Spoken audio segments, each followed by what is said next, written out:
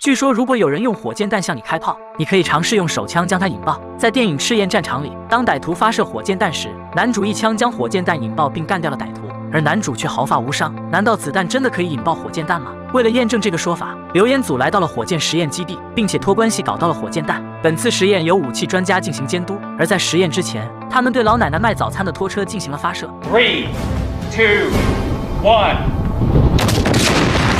就在一瞬间的功夫。拖车被炸成了渣渣灰，而慢镜头显示，在拖车爆炸之后，烫手的熔铜弹头还在继续飞行，将后面的钢板熔出一个大洞。那它与发射的子弹相撞又会发生什么呢？为了让子弹精准的命中火箭弹，他们用两条绳子制作了导轨装置，这样火箭弹就能沿着绳子的方向飞行，并且会在中间的某个位置触发手枪的信号装置，从而让子弹精准的击中火箭弹。实验道具准备好之后，所有人躲在安全屋开始实验。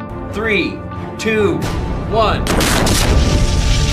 突然一声巨响。大家还没反应过来，就已经结束了。通过高速相机显示，虽然火箭弹成功发生了爆炸，但由于绳子绷得不够紧，导致火箭弹发生了抖动，使它和子弹不在同一水平线上，并且手枪的信号装置也不够灵敏，所以枪口也没有发射子弹。于是他们重新改进了导轨装置，将绳索绷紧，并提高了手枪信号装置的灵敏度。这样又能否顺利引爆火箭弹呢？Three, two, one。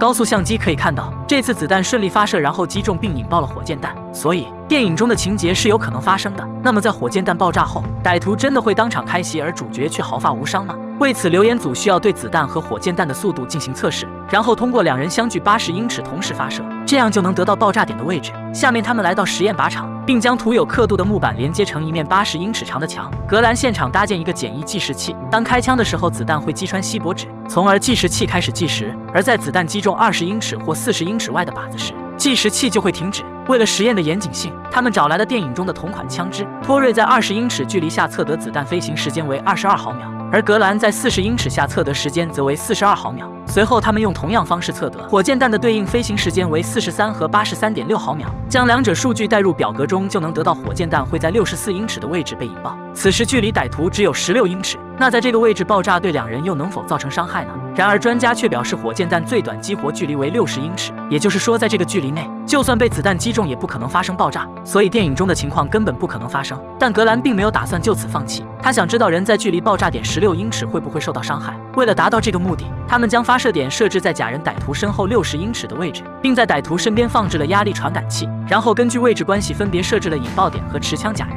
一切准备就绪之后，他们在安全屋再次发射了火箭弹。然而让人大跌眼镜的是，爆炸并没有对歹徒造成任何伤害，反而一连串的融化弹片差点击中了持枪假人。所以，就算电影中的子弹引爆了火箭弹，也不会对歹徒造成任何伤害。本次实验非常危险，请大家不要模仿。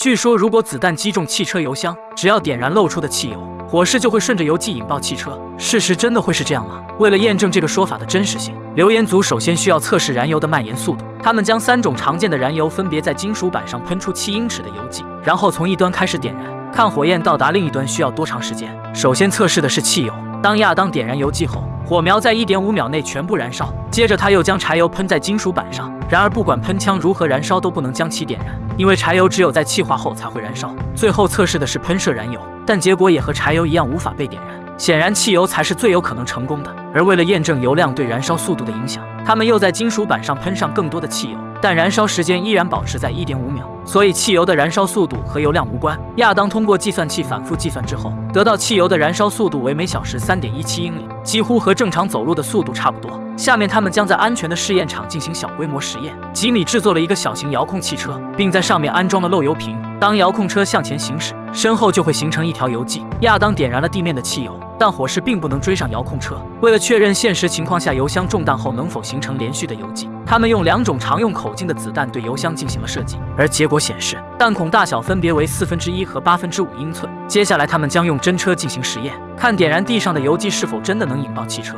下面，留言组捡来一辆不要钱的皮卡。并将装满汽油的油箱用支架固定在车后，而油箱上有一根小口径、弹孔大小的漏油管。当吉米启动皮卡车向前行驶，亚当则点燃地上的油剂，但火势燃烧得非常慢。吉米根本不需要踩油门，于是他们换上了八分之五英寸的漏油管。这次吉米将车速降到了五英里每小时，火势依然落后于皮卡，但亚当却犯了致命错误，他忘记通知吉米加速，导致漏油管被点燃，并且已经无法摆脱。最后用灭火器才阻止了更大的事故。通过这个失误，让他们发现，越是靠近油箱的火势烧得越快，这是因为新鲜漏出的汽油挥发浓度高，从而更容易燃烧，而时间久了，挥发气体就会散开，导致燃烧速度变慢。最后，他们来到了专业场地，再次实验。这次他们将以二十英里的车速进行测试。当亚当点燃地面的汽油，刚开始火势还能沿着油迹燃烧，但在一百英尺后火势逐渐熄灭，因为车速加快导致油迹太细，并且已经挥发，从而无法继续燃烧。然而实验并没有就此结束，他们决定玩一场刺激的，直接让火势追上油箱，看这样是否会发生爆炸。然而结果让大家失望了，虽然大火已经完全将油箱包围，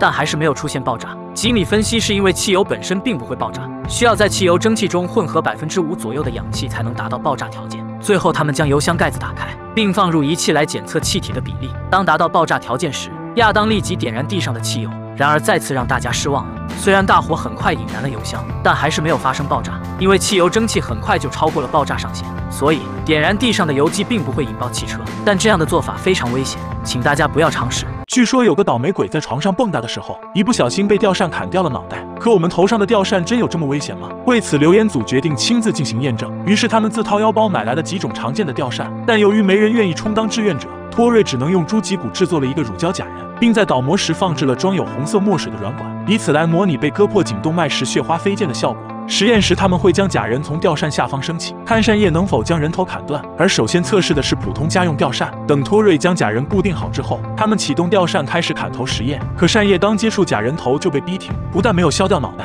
甚至没能切开皮肤组织。于是他们改用动力更强的工业吊扇，并让假人以平移的方式让脖子接触扇叶，看这样能否造成致命伤害。当杰西拉动控制的绳索，扇叶瞬间就割破了假人的颈动脉。虽然没能让他脑袋搬家，但如果是换成真人实验，估计会有一。点点疼。为了达到留言中人头落地的效果，托瑞将割草机的发动机拆下，并决定用它打造一个超级吊扇。而杰西则将钢制扇叶打磨锋利，以便达到更好的杀伤效果。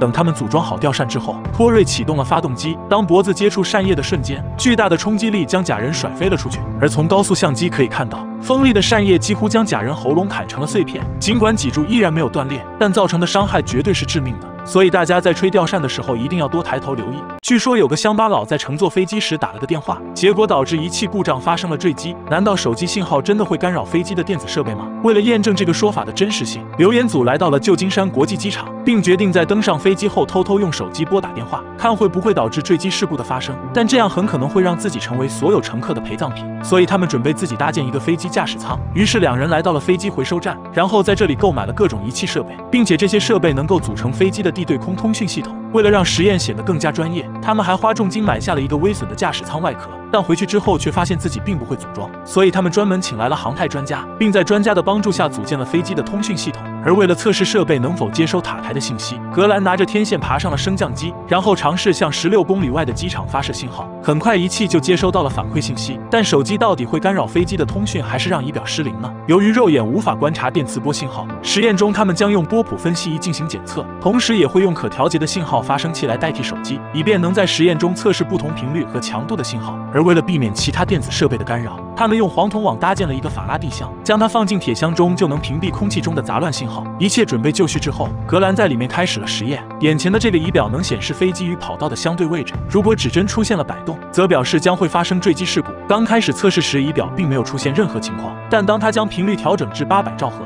这时指针开始出现明显的摆动，而这刚好是手机的常用波段。所以当前的实验结果显示，手机信号可能会影响飞机的仪表指示，可它又是否真能干扰飞机的通讯呢？接下来他们进行了第二轮测试。下面留言组将安装有通讯系统的驾驶舱固定在卡车上，然后将车开到了机场的周围，并且用飞机上的设备向塔台收发信号。同时，格兰会用手机信号进行干扰，而凯利和托瑞则密切关注仪表的反应。但还没等他们开启信号发射器，仪表的指针就开始左右摆动。于是他们立即将车停了下来，然后决定在静止状态下再进行测试。可很久之后，指针依然没有稳定。专家表示，可能是因为组装设备的性能存在问题，所以留言组不得不用真实飞机进行实验。之后，他们托关系搞到了一架小型商务飞机，而这架飞机刚好具备最先进的航电设备与显示器。但为了避免飞机遭到留言组的暴力破坏，机长要求他们只能在停机坪展开实验。接下来，格兰将设备搬进了机舱，并尝试用手机拨打电话，以此来干扰飞机的信号传递。可当他使用多款不同手机测试之后，竟然没有一个手机能对飞机的通讯造成影响。即使格兰尝试增强信号的强度，飞机也依然不会受到任何干扰。这是因为现代飞机上的所有线路都装有屏蔽层，理论上不管什么信号都不会影响飞机的安全。那为什么航空公司会禁止在飞机上使用手机呢？其实主要还是以防万一，毕竟手机的信号是最有可能干扰电子设备的，所以大家在坐飞机的时候一定要遵守规定。据说枪支在太空中无法射出子弹，因为太空中没有燃烧所需要的氧气，也就不能引爆子弹里的发射火药。可看似有理有据的说法，真的符合实际吗？为了验证真空环境下能否开枪，留言组决定借用咱们的天宫空间站进行实验，但得到的答复却只有一个字，所以亚当只能用防弹玻璃打造了一个密封箱。实验时，他们会把手枪固定在箱子的一端，然后将里面的空气全部抽出，以此来模拟太空中的真空环境。而在正式实验之前，他们需要进行正常环境下的对比测试。亚当将子弹上膛之后，吉米按下了遥控按钮，随着一声清脆的枪声，子弹准确命中了玻璃挡板，并在上面留下清晰的弹痕。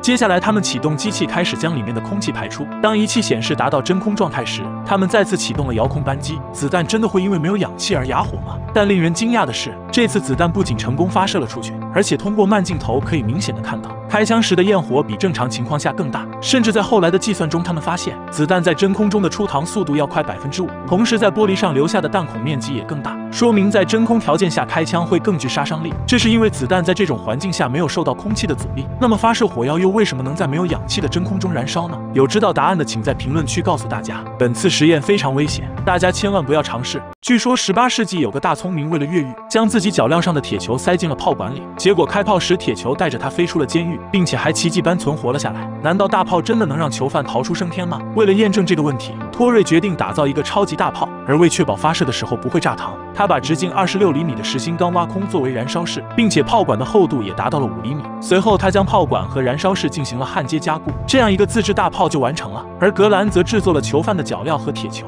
然后凯莉在上面喷洒了黄色的油漆，这样做的目的是为了发射出去后能快速被找到。但由于没有人愿意充当志愿者，托瑞只能礼貌地请出了假人老兄。下面他们在爆破试验场将大炮固定，并在距离十五米远的地方树立了围墙。如果假人被轰出围墙后依然保持完整，则代表囚犯越狱成功。而在正式实验之前，他们对大炮的威力进行了测试。虽然首次测试只注入了一管火药，但却直接将铁球发射到了八十米远，并且时速达到了二百一十公里。那么他又能否带着假人重获自由呢？这次他们将火药剂量增加了一倍。之后，托瑞点燃了大炮的引信，可假人只飞出了两米远。看来两管火药的威威力不足以将假人带上天，于是托瑞决定将火药增加到六管。但格兰却发现假人的脚被拉变形了，因为假人身体是用金属做的。为了模拟人体关节断裂的强度，凯利用绳子替换了原来的金属关节。这次囚犯又能否完整的越狱呢？随着大炮的发射，假人的腿以三百二十公里的时速成功越狱，但身体却还留在了原地。所以大炮不但不能帮你成功越狱，反而会让你死无全尸。本次实验非常危险，大家千万不要尝试。据说一战时德国士兵挖的战壕一定是直角的，因为他们认为相较于圆角战壕，直角战壕更能有效减少冲击波的伤害。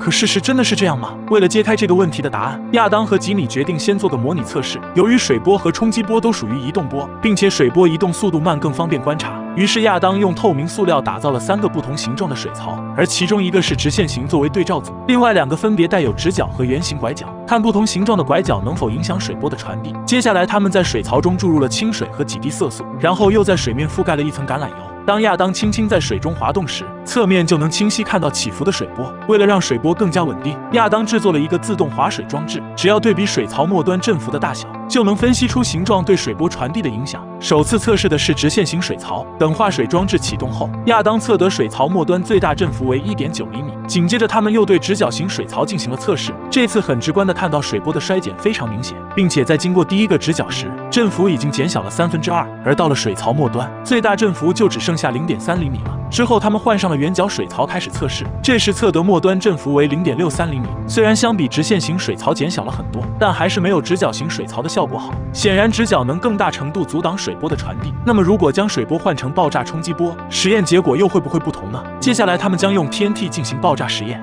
下面，亚当和吉米来到了爆破试验场。并决定在这里还原一战时的战场情况。亚当首先在地面画出战壕的轮廓，然后在挖机的帮助下，很快挖出三条同等长度但不同形状的战壕。为了方便观察爆炸后的受损程度，亚当用不同颜色的木板对侧壁进行了支撑，同时还分别在每隔三米处安装一组传感器，以便对比不同战壕的冲击波强度。而首先进行的是地面爆炸的对比测试。专家将十一公斤 TNT 放置在预定地点后，他们在安全屋按下了引爆按钮。这时传感器在十五五米处测的压力为三十五千帕。紧接着，他们又在直线战壕布置了等量的炸药。可当他们再次引爆的时候，巨大的冲击波将木板炸得四处飞散，并且整个战壕已经面目全非。而更令人惊讶的是，每组传感器测得的数据都远远高于地面，甚至战壕末端的压力值依然高达九十六千帕。显然，直线战壕会增强爆炸的威力。那么，有拐角的战壕是否能够阻挡冲击波的传递呢？接下来，他们引爆了直角战壕内的 TNT，虽然爆炸的威力没有变化。但这次拐角之后的木板基本完好，并且每组传感器数据都要低于直线站好，而末端冲击波压力只有四十八千帕，这说明直角削弱了爆炸的破坏力。可圆角战壕对冲击波的影响又会怎样呢？这次爆炸的火焰直接漫过了第二个圆角，相比直角战壕，冲击波在圆角战壕内的穿透力更强，这也导致末端的损坏更加严重。所以，如果让你打鬼子，你会如何挖战壕呢？据说钢索绷紧后就会产生恐怖的张力，一旦发生断裂，能瞬间将人拦腰切断，并且米国航母曾发生过类似的事件。一架战机在降落过程中，阻拦索突然断裂后横扫甲板，差点将旁边的船员切成两半。难道钢索断裂真有这么危险吗？为了验证这个说法的真实性，留言组决定先做个模拟测试，以确定绳子断裂后的走向。吉米将绳子固定在桌子的两端，而亚当在台面上画好相同间距的方格，然后他们用刀片割断了紧绷的绳子。这时绳子垂直扫过了中线，为了让绳子横向甩动，他们在切割点位置的中线上放置了障碍物，并且再次进行了测试。果然，绳子朝着旁边甩了过去。随后，他们又在中间放置了一个铁柱，这次绳子奇迹般的抽在了铁柱上。接下来，他们计划在两个柱子之间绑上钢索，然后在中间放上障碍物，改变钢索的甩动方向，这样剪断钢索就能击中旁边的志愿者了。方案确定之后，经理来到商店选购了拉伸钢索的液压活塞，并趁老板不注意顺了个遥控切断装置，以保证释放钢索的时候不会出现意外。但由于没有人愿意尝试充当志愿者，亚当只能买来一车不要钱的二师兄。为了让二师兄更加接近人体质感，他们还在二师兄肚子里填充了组织替代胶。下面留言组找到一处废弃的厂房，而里面的柱子刚好可以用来固定钢索，并且他们同样在反弹路径上焊接了障碍物，然后将二师兄悬挂在靠近切割点四分之三的位置。因为这里绳子的离心力最大，所以抽打的力道也是最大的。本着受力面积越小，切割力越大的原则，他们决定首先用较细的钢索进行实验。一切准备就绪之后，两人躲在室外启动了液压活塞。当钢索被拉到极限状态时，亚当按下切割装置的按钮。强大的力量瞬间将二师兄甩到了三米开外，高速相机下甚至能看到钢索撞击铁桶时出现的火花，但却没有将二师兄切成两半。于是他们换成了更粗的钢索，这种钢索可以承受超过四万磅的拉力。那他又能否将二师兄切开呢？当拉力达到极限的时候，他们再次切断了钢索，而这次释放的能量相当于十辆卡车的拉力。可尽管如此，二师兄依然没能被切成两半。显然，想要以这种方式切开身体是不可能的。但如此巨大的力道，如果抽在人身上，估计会有点疼。为了能彻底将二师兄切开，两人开始不讲武德，他们直接用细钢索套住二师兄，并绑在柱子上，然后钢索的另一端用起重机进行拖拽。随着亚当一脚地板油，二师兄如同被割韭菜一样拦腰截断。本次实验非常危险，请大家不要在家尝试。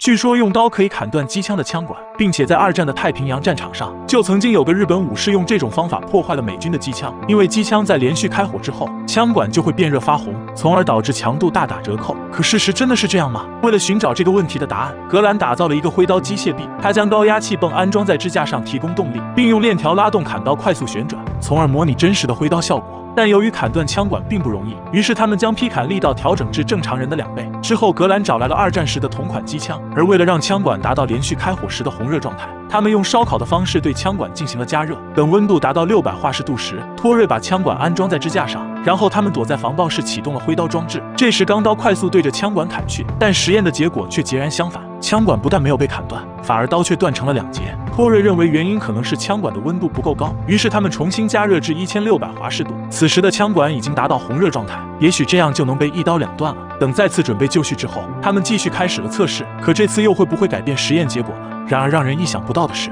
这次枪管依然没有被砍断，并且上面的切口深度也和之前一样。难道留言就此终结了吗？但格兰猜测枪管可能经过泡水降温，因为淬火处理能增加金属的硬度和脆性，从而更容易被砍断。为此，他们对枪管再次进行了加热，紧接着又把它泡在冷水中，而且这样反复操作了五次。同时，凯莉找来了更加锋利的刀具。可这样就能摧残脆弱的枪管吗？随着倒计时归零，枪管竟然直接断成了四节。但之后他们通过检查刀口时发现，枪管竟然并不是被砍断的，而是因为受到强大冲击力而出现了碎裂。况且机枪在使用时还会装有套筒，那如果换成更小的冲锋枪，又会不会出现被砍断的情况呢？接下来，他们将汤姆逊冲锋枪的枪管加热到一千七百五十华氏度，然后再次进行了挥刀实验。而这次的枪管也只是被折弯，所以即使是当时最小最薄的枪管也没能砍断，那就更不用说尺寸更大的机枪了。据说有个倒霉鬼在开枪的时候射偏了角度，结果子弹不但没有击中目标，反而经过三次回弹后送走了自己。可这种情况在现实中真的可能发生吗？为此，留言组决定用实验进行验证。于是亚当弄来了三片钢板，并分别按照九十度夹角固定在台面上。实验中，他们将用手枪沿四十五度角向一号钢板发射，理论上子弹会以九十度回弹射向二号钢板，然后经过三次回弹后击中枪口位置。为了校准钢板的摆放角度，他们用镜子和激光进行了调整。随后，亚当将吉米的牌位摆在了手枪旁，以此来充当开枪的倒霉鬼。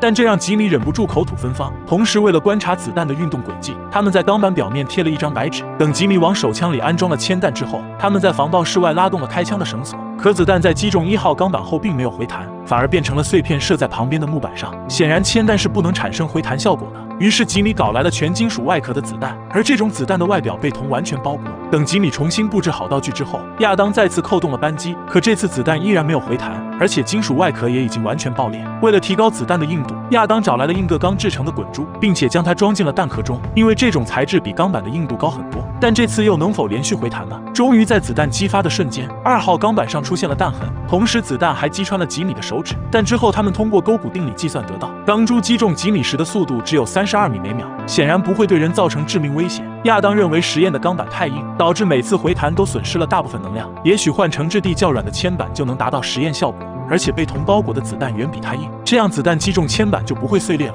但在实验之前，他们需要测试子弹的偏转角度。等布置好测试道具之后，他们朝着铅板开了一枪。可尽管子弹沿着四十二度角回弹后击穿了旁边的木板，但偏转后的速度却只有五十二米每秒。显然，用铅板是不能造成致命伤害的。于是吉米决定用水泥砖进行测试，因为这种材料软到能让子弹陷入，并且也是生活中最常见的物品。同时，为了尽可能减少子弹回弹时的能量损失，亚当将入射角度调整至二十二点五度，也许这样就能让人开席了。而当他们对着水泥砖扣下扳机时，子弹不仅在回弹后击穿了木板，而且还能保持一百四十八米每秒的速度。但让子弹偏转三次后，又能否送走自己呢？接下来，亚当准备了三块水泥砖，然后按照二十二点五度的入射角固定在台面上。按照之前测试得到的数据，子弹会依次击中三块水泥砖，并且在回弹后打掉几米的排位。随着亚当拉动开枪的绳索，这次子弹竟然成功经过了三次回弹，而且还顺利击中了吉米的心脏。但从高速相机可以看到，子弹在第三次偏转后速度明显变慢了，以至于击中吉米时只有六十米每秒。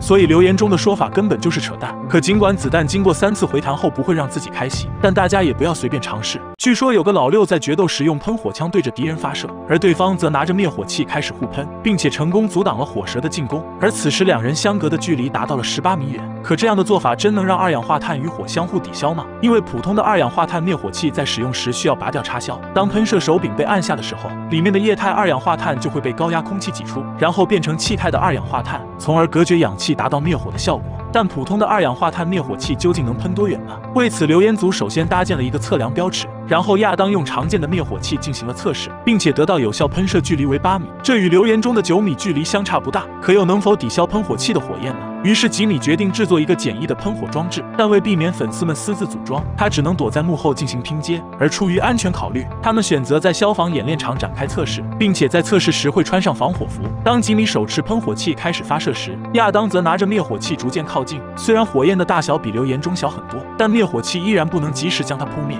因为它只有在近距离时才能起到作用。显然，普通的灭火器并不能在十八米外与喷火器进行对抗。于是，留言组决定升级实验装备，看超级灭火器能否与军用喷火器相互抗衡。亚当计划用增大灭火器尺寸的方式获得更强推力，以便有足够的压力波延伸到九米之外。同时，他还另外增加了一个高压水罐。当实验发射的时候，气化的二氧化碳就会让水雾凝结成大量冰晶，从而得到更大推力将火扑灭。而吉米则希望打造一个军用级别的喷火器，他将两个高压气罐装满了汽油，同时另外一个罐子装有惰性气体，并且它们的压力达到了上千帕。一旦按下喷射把手，高压气体就能使易燃的汽油高速喷出，而火焰的有效射程超过了二十米。这几乎与留言视频中一样。为了防止吉米在实验中公报私仇，好在亚当事先准备了一个防火玻璃罩，而且在实验前的测试中，玻璃罩能很好的保护亚当不被烤熟。等到夜幕降临之后，他们开始了正式实验。在这里郑重提醒一下大家，千万不要模仿接下来的危险动作。但首次测试，亚当选择了普通的二氧化碳灭火器。面对吉米强大的攻势，亚当几乎毫无招架之力，熊熊烈火将他完全包围。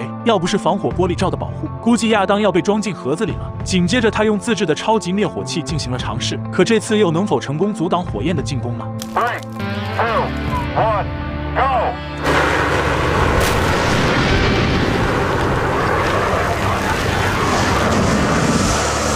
尽管亚当和灭火器都已经尽力了，但依然无法将火势压制在中间位置，所以用灭火器对抗火焰喷射器的做法完全就是扯淡。据说在二战时，一位俄罗斯士兵用 MP3 挡住了德军 AK-47 的子弹。先抛开故事背景不说，吉米和亚当想验证这种做法是否行得通，于是两人用组织替代胶做了个假人，并带到了靶场。亚当还特意来到华强北买了个全新的二手 MP3，但拿到手后他有点不相信。为了还原真实现场。他们采用同款枪支进行实验，一切准备就绪后，实验正式开始。MP3 被成功干成了两半，但子弹只是击中了边缘。为了实验的严谨性，亚当决定再来一发。这一次子弹顺利击中 MP3，并贯穿了假人。实验证明，如果有人用 AK-47 向你射击，千万别用 MP3 来挡子弹，因为你不仅会失去生命，还会损坏一台 MP3。听说有个警察用警徽挡住了手枪子弹。为了验证这个留言的真实性，两人定做了三种不同材质的警徽，再次来到靶场。为还原现场，他们使用相同的手枪进行测试。首先上场的是纯银材质的警徽。Three, two, one。这一枪精准的命中靶心，但警徽被打掉一个尖角，并贯穿假人。接下来是黄铜材质的，再次开枪。这次虽然击穿了警徽，但假人的情况比之前好多了。子弹卡在假人中间，并没有造成贯穿伤。最后实验的是镍质警徽，这种材质是三个里面硬度最高的，它又能否成功挡住子弹呢？让人意外的是，警徽虽然严重变形，但确实成功挡住了子弹。据说有个外卖员遭到散弹枪的攻击，他用手上的披萨成功挡住了子弹。这种情况真的可能发生吗？为了验证留言的真实性，亚当购买了标准的外卖保温箱和三个普通披萨，再次将它们摆放在假人胸前。首先，吉米选择了打鸟专用的小号子弹，在距离十英尺的地方扣动了扳机。Three, two, one。结果只有一小半的钢珠穿过了保温箱，这虽然会让人痛不欲生，但并不致命。那如果使用标准散弹呢？它的威力相比打鸟散弹要大得多。In three, two, one。这一次钢珠几乎全都贯穿了保温箱。最后，两人使出了终极手段。他们要验证到底多少盒披萨才能抵挡住标准散弹枪。接下来就是见证时刻的奇迹。他们将十五个披萨装进五个保温箱，并依次叠放在假人胸前，再次开枪。十五个披萨究竟能不能抵挡住呢？前四个保温箱均被子弹穿透。拆开第五个保温箱，结果显示子弹在第十四个披萨前停住了。所以披萨是真的能挡子弹，但谁又会抱着十五个披萨走呢？据说，如果将飞机放在传送带上，只要传送带与飞机的起飞速度相同，并且方向相反，飞机就能在上面飞起来。但很多大聪明就不这样认为，因为飞机和汽车一样，传送带向后的速度与汽车向前的速度会相互抵消，所以飞机会保持原地不动。可到底哪种结论才是正确的呢？为了找到这个问题的答案，留言组决定首先进行小型实验。于是亚当向格兰借来了遥控飞机，但为了避免飞机被他们糟蹋，格兰还手把手传授了飞行技巧，而吉米则导来了一台跑步机，并将参数设置成了小飞机的起飞速度。然后他们将飞机放在了传送带上，可由于轮子太轻的缘故，飞机很容易就偏离了路线，导致车轮总是卡在缝隙里。于是亚当用手轻轻稳住飞机的尾部，同时吉米加快了跑步机的运行速度。等飞机稳定下来之后，他们才启动了发动机。但这时飞机却从侧边栽在地面上。随后经过多次尝试，他们终于将飞机加速到了起飞速度。但由于跑步机长度不够，导致飞机没能成功起飞。为了实验的继续进行，他们改变了测试方案，并决定通过拉动牛皮纸来模拟后退的传送带。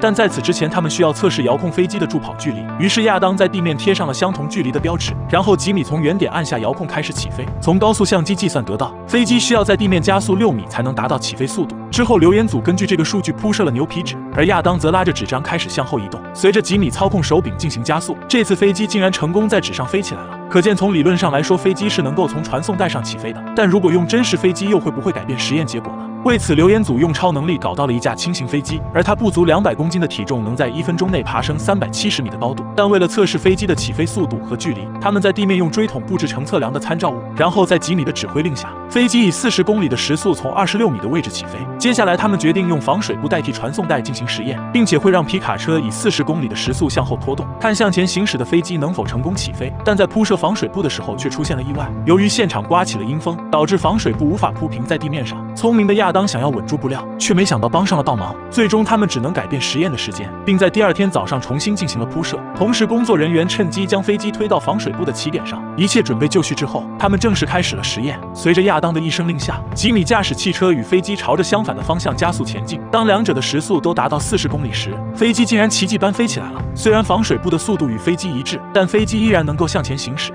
进而达到起飞速度。这是因为飞机与汽车的前进方式不同，汽车主要通过车轮的摩擦向前行驶，而飞机则是依靠螺旋桨提供推力，并且轮子是可以自由转动的。所以不管传送带如何运动，都不会影响飞机的速度。据说手枪的子弹能打爆煤气罐。刘彦祖来到了爆破试验场，并决定先用空煤气罐进行射击测试，看子弹能否射穿钢瓶。等他们在远处搭建好安全屋之后，凯莉用电影中同款手枪瞄准了煤气罐，但当他扣动扳机时，子弹却并没有击穿钢瓶。之后他又再次开出了第二枪，可结果依然没有发生改变，可见手枪的威力是不足以打爆煤气罐的。接下来，托瑞用火力更猛的霰弹枪进行了射击，这次子弹成功击穿了前面的罐壁，但通过观察，他们发现钢瓶的另一面还是没能穿透。凯莉认为，想要达到爆炸的效果。子弹就必须贯穿整个钢瓶，于是他们再次升级了火力更强的步枪，但这次射击的结果又会怎么样呢？随着一声清脆的枪响，子弹直接击穿了整个煤气罐。那如果换成装满煤气的钢瓶，子弹又会不会引爆里面的煤气呢？下面留言组偷偷将邻居家的煤气罐搬了出来，而这个钢瓶装有八十三升易燃气体，并且罐壁气压高达一千六百千帕，一旦罐体被子弹击穿，高压气体会瞬间喷出。可子弹真能引爆泄漏的煤气吗？之后他们用铁链将钢瓶固定在地面上，以此来避免燃烧的煤气罐四处飞窜。同同时，为了验证电影中的邦德是否会被爆炸伤害，他们还将假人老兄布置在七米远的位置。等一切准备做好之后，凯莉在安全屋对着煤气罐扣动了扳机，钢瓶内的易燃气体瞬间喷射出来。可尽管子弹贯穿了整个罐体，但并没有将气体引爆。为了增加实验的成功率，留言组将子弹换成夜光弹，而这种子弹会在空气中燃烧产生火光。同时，在专家的建议下，他们将在这次测试中多开几枪。当托瑞射出第一发子弹时，钢瓶内的气体被快速释放了出来。可等他再次开了两枪后，钢瓶依然没有发生爆炸。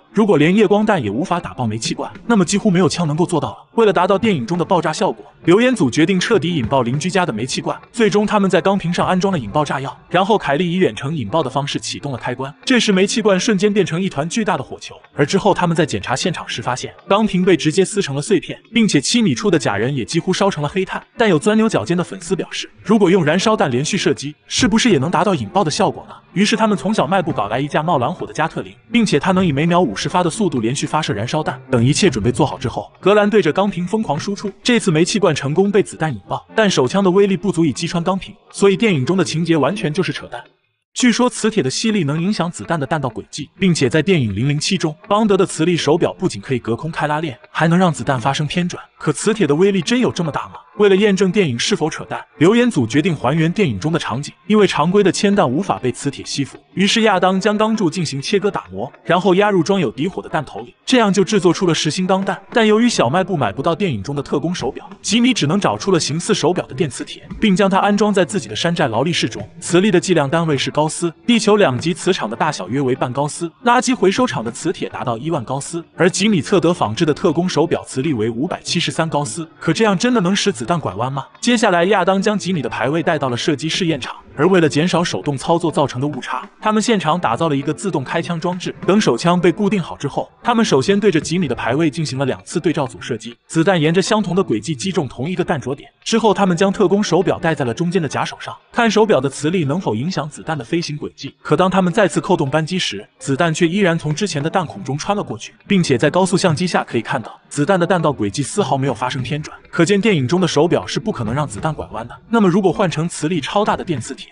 实验结果又会不会发生改变呢？下面吉米弄来了一个超大电磁铁，而它的最大磁力达到了三千二百高斯。等将磁铁安装固定好之后，他们对着吉米的排位扣动了扳机，但子弹依旧从原来的弹孔中穿了过去。显然，电磁铁的磁力还不足以改变子弹的轨迹。于是，他们用磁力高达五千高斯的铝磁铁进行测试，并且单块磁铁能轻松提起一百六十公斤的重物。而吉米一共弄来了十块这样的磁铁。亚当坚信这次子弹的路径会发生改变，可实验结果究竟会怎样呢？随着一声枪响，这次弹着点确实下降了一点点，但通过观察磁铁的表面，他们并没有发现被子弹划伤的痕迹。而通过高速相机可以看到，子弹在磁力的影响下出现了翻滚。为了更加直观观察子弹的偏转情况，留研组再次增加了更大的超强磁铁，并且三块这样的磁铁总磁力达到了六万高斯。随后，亚当在磁铁的上方贴上了白纸，一旦子弹被磁力吸附，上面就会留下被子弹击中的痕迹。一切准备就绪之后，他们再次对着吉米的排位开了一枪。这时，子弹终于发生偏转，击中了磁铁。可尽管证实了磁力确实能影响子弹的飞行轨迹，但电影中手表吸子弹的剧情纯粹就是扯淡。据说用六颗子弹的火药塞进门锁里就能炸开钢门，并且电影中有这样的情节：男主为了挽救被绑架的男孩。徒手掰开了六颗子弹，并用布料将火药包好塞进锁眼，然后推进一枚空弹头。当他用枪托敲击底火时，钢门就被炸开了。在现实中，这种方法真的可行吗？可很多粉丝认为直接射击门锁就能打开。为了验证哪种方法效果更好，于是留言组决定做一个对照实验。首先，托瑞找来一扇电影中同款钢门，然后将手枪固定在距离门锁三十厘米的位置。为了防止跳弹造成伤害，他们在防爆时扣动了扳机。而让人大跌眼镜的是，子弹直接击穿了门锁，并且导致肛门只要轻轻一推就能打开。既然一颗子弹就能解决的事，电影中为什么要花更多的时间和子弹呢？难道导演的脑子秀逗了吗？但本次实验的重点是验证电影中做法的可行性。接下来，留言组需要按照电影中的方式取出里面的火药，但托瑞用上了牙齿也没能将子弹掰开。显然，这样的做法是非常幼稚的。那么，用手枪敲击子弹的底火又能否点燃火药呢？之后，他们将子弹插入桌面的小孔，然后用枪把开始敲击。而为了保证安全，他们提前取出了里面的火药。然而，弹壳都被敲扁了，底火还是没有被点燃。因为底火需要特定的撞针精准撞击才能被激发。那六颗子弹的火药能否炸开门锁呢？下面他们开始了真正的实验。凯莉在枪把手底部安装了类似的撞针，而格兰则打造了一个机械摆臂，将手枪固定在摆臂的末端，借助重力就能让撞针撞击底火。从而达到引爆火药的目的。通过拆解子弹，托瑞发现六颗子弹的火药剂量只有三十克。那么它真的能将肛门炸开吗？下面他们将粉丝的肛门带到了试验场地，将三十克火药用碎布包裹起来，然后塞进了锁孔。格兰将摆臂装置安装好，并让撞针对准底火。一切准备好之后，他们在安全屋释放了摆臂。虽然撞针精准撞击了底火，可火药并没有发生爆炸。托瑞认为是布料阻挡了火药的燃烧，于是他们直接将弹壳插入到火药中，但再次实验依然以失败收场。此时，格兰突然发现，现代子弹使用的都是无烟火药，而电影中手枪子弹用的是黑火药，并且威力更强。于是他们重新换成了黑火药，这次又能否成功呢？当格兰释放摆锤的绳索，火药终于发生了爆炸，但门锁并没有被炸开。显然，这样的火药剂量远远不够。为了让粉丝的肛门彻底开花，他们决定加大火药剂量，直到肛门里被塞入了六百克黑火药。而为了确保安全，这次采用远程电子引爆的方式进行。随着一阵火花四溅，这次肛门终于被炸开了，但使用的火药剂量却是电影中的二十倍，所以电影里都是骗人的。本次实验非常危险，请大家千万不要模仿。据说有个倒霉鬼在搬运火药时，他没注意桶上破了个洞，被老六看到后点燃了地上的火药。就在即将被引爆时，他发现并切断了引信，从而阻止了爆炸。可现实中人真的能追上燃烧的火药吗？为了找出这个问题的答案，留言组决定先进行小型实验，看火药的燃烧速度到底有多快。首先，他们在钢板上均匀撒上了半米长的黑火药，而为了避免在测试时烧掉眉毛，亚当制作了一个长干点火器。可刚接触火焰的瞬间，火药就全部燃烧殆尽。看来阻止火药爆炸的说法有点扯淡。这时吉米认为是撒的火药量太大，于是他们决定用漏斗减少火药的剂量，并且把引信长度增加到了一米。重新点火后，他们发现这次燃烧的速度果然慢了不少。接下来，他们来到了试验场。为了更清晰地观察火药燃烧情况，他们在地面铺上了三十米长的木板跑道。但为了不把亚当炸上天，吉米只能把空火药桶摆在跑道的末端。随后，亚当将火药连续撒在了木板上。那么，他能追上燃烧的火药吗？虽然在引信被点燃三秒后，亚当才开始出发，但很快他就超越了火药的燃烧点，并不慌不忙切断地上的引线。紧接着，吉米也开始了测试。这次他决定等引信快要烧完的时候拼命追上去。可当他刚要开始奔跑，就被亚当这个老六抠住了裤裆，导致最终没能切断引信。但如如果没有外人拉扯，吉米一定能阻止燃烧。那如果在引信没有扑灭的情况下，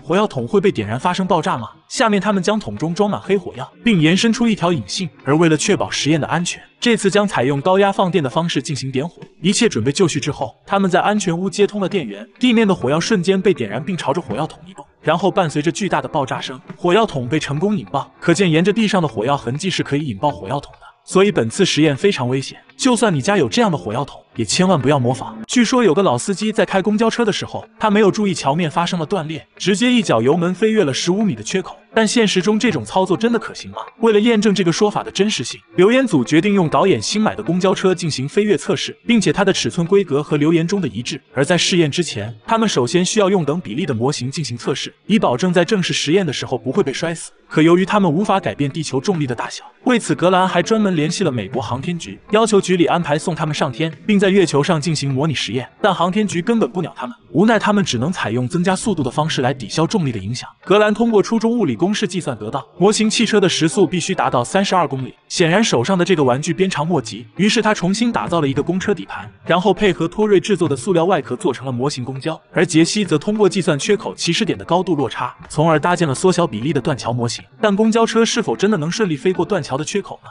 ？Three, two, one. 尽管速度和其他参数已经达到实验的要求，但模型车却一个猛子撞在了桥墩上。通过计算，距离断桥的另一头还有零点七六米远，换算下来的真实距离则是九米。看来想要飞过十五米的缺口是不可能的。之后，他们将缺口的宽度缩小到一半，并重新进行了测试。可公车模型依然在离开桥面的瞬间就开始下坠，最终串在桥面的钢筋上。所以，如果以这样的方式过桥，绝对会死无全尸。那如果在桥面增加一个起飞的坡道，是否就能成功飞跃呢？下面留言组将用全尺寸的公交车进行飞跃实验，并且决定在桥面搭建一个起飞的坡道，以给公车提供一个向上的速度。但没有志愿者愿意尝试驾驶这趟公交车，于是格兰只能给公车装上自动驾驶装置。实验时，只要在远处进行遥控操作，公交车就能沿着既定的路线和速度前进。接下来，托瑞将集装箱切割成楔形，并在试验场搭建成一个大型坡道。随后，格兰在跑道上测试了公交车的操控性，但他们却发现，由于从第一人称视角变成了第三人称，公交车很难保持直线行驶。而为了确保实验时能顺利冲上坡道，杰西在跑道两侧画上了白色的引导线，这样格兰就能从地上的线条判断是否跑偏。等一切准备就绪之后，所有人各就各位。这次真的能飞越十五米的缺口吗？随着车速逐渐加快，汽车也变得越来越难以控制。虽然格兰极力想要稳住方向盘，但公交车还是跑偏撞进了粉丝家的菜园里，幸好没有造成更大事故。随后，格兰对遥控装置进行了升级，确认没有问题后，他们再次开始了飞车实验。Crap. 58 miles per hour. Return! Oh my god. Oh my god.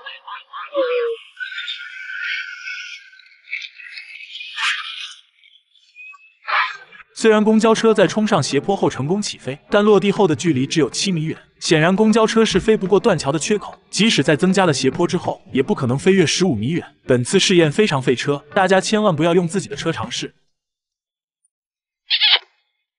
据说，当我们驾驶摩托车飙到时速一百三十公里时，如果迎面撞上飞来的昆虫，巨大的撞击力会让我们当场开席。可小小的虫子真的能产生这么大威力吗？为了验证这个说法的真实性，首先格兰找到医学专家，并了解到正常人的前额能够承受九百公斤的压力，而胸腔的抗压能力根据人的年龄不同，可以承受一百八十到一千八百公斤的力量。但喉咙是人体最脆弱的部位，当压力达到三十四公斤时，人就会因为气管堵塞而命丧黄泉。那么昆虫的撞击力到底有多大呢？由于抓不到合适的志愿者。格兰只能用压力传感器制作了一个撞击板，当它与虫子发生碰撞时，电脑就会显示撞击力度的大小。之后，托瑞将假人老兄的头颅锯下，并且换上格兰制作的撞击板。下面，他们来到了空军基地，为了避免昆虫被风吹走，格兰用意面将苍蝇固定在支架上，然后托瑞驾驶载有假人的三蹦子从远处出发，并以一百三十六公里的时速撞向苍蝇。从高速相机可以看到。撞击的瞬间，苍蝇直接变成了粉末，而传感器测得撞击力度竟然达到了四点五公斤。尽管这个数值已经非常惊人，但距离致人死亡还远远不够。于是他们换上了比苍蝇重一百倍的质量。一切准备就绪之后，托瑞再次发动了三蹦子。当板子以同样的速度撞击虫子时，蹦出的番茄酱让两人大吃一惊。这次传感器测得的力道提高到了十七公斤，显然只要增加昆虫的重量就能达到致死的效果。那么用体重为一百克的巨型甲壳虫撞击的力度又会不会致命呢？下面格兰决定用非洲甲壳虫进行撞击试验，而这种虫子的体重达到了一百克。但为了假装保护动物，凯莉将虫子制作成树枝模型，然后灌入绿色的布丁，并且让重量控制在一百克。接下来，他们以同样的方式再次进行了实验。当车子加速到每小时一百三十六公里时，伴随着剧烈的撞击声，传感器显示的力道达到了四十五公斤。如果人的脖子撞上了这个甲壳虫，一定会造成致命伤害。而对于胸部和额头，这样的撞击力明显还不够。于是留言组决定用更快的速度进行实验，但出于安全考虑，他们制作了一个空气炮，并打算用三百二十公里的时速将甲壳虫发射出去。因为这个速度是摩托车罚单的最高纪录。凯莉小心将虫子塞进炮筒后，他们启动了发射按钮。Three, two, one. 当虫子击中撞击板时，强大的冲击力甚至掀起了一阵风，而这次撞击的力道更是达到了惊人的二百五十公斤。虽然这种力道撞击胸部不一定会致命，但肯定会有一点疼。所以，不管你是单身多少年的老司机，驾驶摩托车的时候一定不要超速。据说磁铁的吸力能影响子弹的弹道轨迹，并且在电影《零零七》中，邦德的磁力手表不仅可以隔空开拉链，还能让子弹发生偏转。可磁铁的威力真有这么大吗？为了验证电影是否扯淡，留言组决定还原电影中的场景。因为常规的铅弹无法被磁铁吸附，于是亚当将钢柱进行切割打磨，然后压入装有底火的弹头里，这样就制作出了实心钢弹。但由于小卖部买不到电影中的特工手表，吉米只能找出了形似手表的电磁铁，并将它安装在自己的山寨劳力士中。磁力的计量单位是高高斯，地球两极磁场的大小约为半高斯，垃圾回收厂的磁铁达到一万高斯，而吉米测得仿制的特工手表磁力为五百七十三高斯。可这样真的能使子弹拐弯吗？接下来，亚当将吉米的排位带到了射击试验场，而为了减少手动操作造成的误差，他们现场打造了一个自动开枪装置。等手枪被固定好之后，他们首先对着吉米的排位进行了两次对照组射击，子弹沿着相同的轨迹击中同一个弹着点。之后，他们将特工手表戴在了中间的假手上，看手表的磁力能否影响子弹的飞行轨迹。可当他们再次扣动扳机时，子弹却依然从之前的弹孔中穿了过去，并且在高速相机下可以看到，子弹的弹道轨迹丝毫没有发生偏转。可见电影中的手表是不可能让子弹拐弯的。那么，如果换成磁力超大的电磁铁，实验结果又会不会发生改变呢？下面吉米弄来了一个超大电磁铁，而它的最大磁力达到了三千二百高斯。等将磁铁安装固定好之后，他们对着吉米的排位扣动了扳机，但子弹依旧从原来的弹孔中穿了过去。显然，电磁铁的磁力还不足以改变子弹的轨迹。于是，他们用磁力高达五千高斯的女磁铁进行测试，并且单块磁铁能轻松提起一百六十公斤的重物。而吉米一共弄来了十块这样的磁铁。亚当坚信这次子弹的路径会发生改变，可实验结果究竟会怎样呢？随着一声枪响，这次弹着点确实下降了一点点，但通过观察磁铁的表面，他们并并没有发现被子弹划伤的痕迹。而通过高速相机可以看到，子弹在磁力的影响下出现了翻滚。为了更加直观观察子弹的偏转情况，留言组再次增加了更大的超强磁铁，并且三块这样的磁铁总磁力达到了六万高斯。随后，亚当在磁铁的上方贴上了白纸，一旦子弹被磁力吸附，上面就会留下被子弹击中的痕迹。一切准备就绪之后，他们再次对着吉米的排位开了一枪。这时，子弹终于发生偏转，击中了磁铁。可尽管证实了磁力确实能影响子弹的飞行轨迹，但电影中手表吸子弹的剧情纯粹就是扯淡。据说手枪的子弹能打爆煤气罐。留言组来到了爆破试验场，并决定先用空煤气罐进行射击测试，看子弹能否射穿钢瓶。等他们在远处搭建好安全屋之后，凯莉用电影中同款手枪瞄准了煤气罐，但当他扣动扳机时，子弹却并没有击穿钢瓶。之后，他又再次开出了第二枪，可结果依然没有发生改变。可见手枪的威力是不足以打爆煤气罐的。接下来，托瑞用火力更猛的霰弹枪进行了射击，这次子弹成功击穿了前面的罐壁，但通过观察，他们发现钢瓶的另一面还是没能穿透。凯莉认为，想要达到爆炸的效果，子弹就必须贯穿整个钢瓶。于是他们再次升级了火力更强的步枪，但这次射击的结果又会怎么样呢？随着一声清脆的枪响，子弹直接击穿了整个煤气罐。那如果换成装满煤气的钢瓶，子弹又会不会引爆里面的煤气呢？下面留言组偷偷将邻居家的煤气罐搬了出来，而这个钢瓶装有八十三升易燃气体，并且罐壁气压高达一千六百千帕。一旦罐体被子弹击穿，高压气体会瞬间喷出。可子弹真能引爆泄漏的煤气吗？之后他们用铁链将钢瓶固定在地面上，以此来避免燃烧的煤气罐四处飞窜。同同时，为了验证电影中的邦德是否会被爆炸伤害，他们还将假人老兄布置在七米远的位置。等一切准备做好之后，凯莉在安全屋对着煤气罐扣动了扳机，钢瓶内的易燃气体瞬间喷射出来。